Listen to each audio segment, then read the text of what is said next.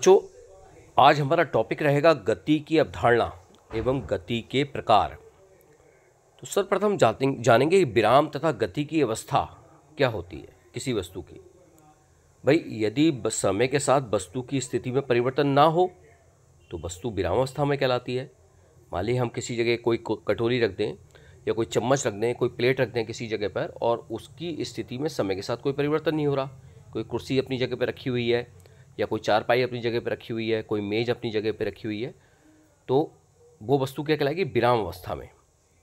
और यदि समय के साथ वस्तु की स्थिति में परिवर्तन हो तो वस्तु गतिशील अवस्था में होगी। जैसे हम पैदल चलते हैं तो हमारी समय के साथ हम चल रहे हैं, दौड़ रहे हैं तो हम गतिशील कहलाएँगे। कोई कार, साइकिल, मोटरसाइकिल, कोई पंखा, अगर चल रहा है, यानी कि समय के साथ उसकी स्थिति में परिवर्तन हो रहा है तो वस्तु गतिशील कहलाएगी। अब हम बात करेंगे गति के प्रकार। तो सर्वप्रथम आप देख सकते हैं, नंबर एक आपको दिखा रहा है सरल रेखीय गति। सरल रेखीय गति, जब कोई वस्तु सरल रेखा में गति करती है तो उसकी गति सरल रेखीय गति कहलाती है। जैसे सड़क पर दौड़ते वाहन हो गए, दौड़ते खिलाड़ी तो उनकी गति क्या कहलाएगी? वो सीधी रेखा में जा रहे हैं, सरल रेखीय गति में चल रहे हैं। तो सरल लेखीय गति कहलाएगी। वृत्तीय गति।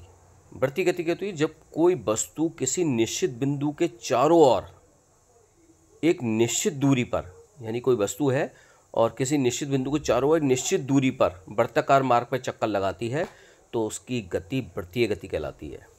जैसे सूर्य के चारों ओर पृथ्वी की गति, क्या पृथ्वी सूर्य के ज़्यादा दूर या कम दूर या अपने एक निश्चित मार्ग पे तो गति करती है, निश्चित दूरी पे तो गति करती है। ऐसे ही पृथ्वी के चारों ओर चंद्रमा की गति। तो कोई वस्तु अगर किसी निश्चित बिंदु के चारों ओर, निश्चित दूरी पर और घूमे कैसे वर्ताकार मार्ग पर? तो वो गति वृत्तीय मार्ग कहलाती है, वृत्तीय गति कहलाती है, वृत्तीय मार्ग ना कह के वृत्तीय गति कहलाती है। और घड़ी के जैसे सुइयों की गति हो गई और कोलू चल, चलाते हुए बैल की गति। और कई बार बच्चों, आपने देखा होगा कि आप किसी गेंद को या ईंट को डोरी से बाँध कर अपने चारों ओर घुमाते हैं। तो आप हो गए निश्चित बिंदु और डोरी की दूरी आपकी निश्चित दूरी हो गई और गेंद जो है, वो वस्तु क्या है, वृत्ताकार मार्ग में घूमती है तो वृत्तीय गति कहलाती है। घूर्णन गति नंबर तीन तो बच्चों, आप लट्टू का सबसे बढ़िया एग्ज़ाम्पल है और इसमें क्या होता है, घूर्णन गति में वस्तु अपने अक्ष के परिता गति करती है। अब लट्टू में अक्ष क्या हो गया, उसकी जो नुकीली नोक होती है, वो उसकी अक्ष हो गया और उसके चारों तरफ़ परिता गति करती है।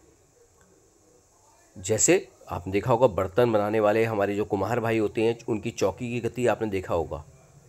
वो एक ही अक्ष के परिता घूमता है उनके चौकी। ऐसे ही हमारा लट्टू घूमता है। तो आवर्ती गति कहलाती है घूर्णन गति कहलाती है।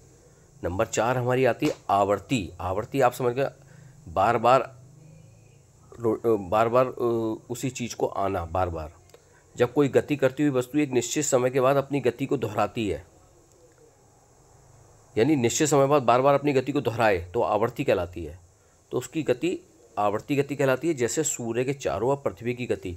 तो पृथ्वी बार बार एक निश्चित समय बाद फिर दोबारा से रोटेट करती है रेवोल्यूशन करती है। तो ये गति क्या कहलाएगी? आवर्ती गति।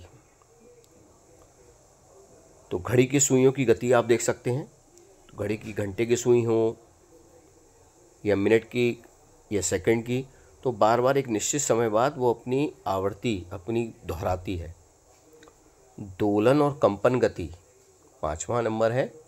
जब कोई वस्तु अपने मध्य स्थिति के दोनों और सरल रेखा में गति करे। बच्चों, इसका सबसे बड़ा एग्ज़ाम्पल है झूला। जब आप झूले पे झूलते हैं तो झूला पहले मध्य स्थिति के एक तरफ़ जाता है, फिर वापस आता है मध्य स्थिति में और मध्य स्थिति दूसरी तरफ़ जाता है, फिर वापस आता है मध्य स्थिति में। तो ये गति जब कोई वस्तु अपने मध्य स्थिति के दोनों और सरल रेखा में गति करती है तो ये क्या कहलाती है दोलन, या कंपन कहलाती है।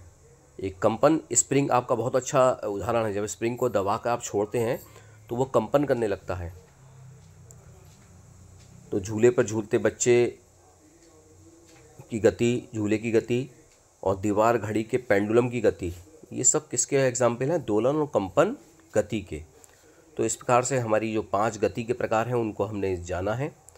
मैं डॉक्टर सचिन शुक्ला, आप सभी का बहुत बहुत धन्यवाद।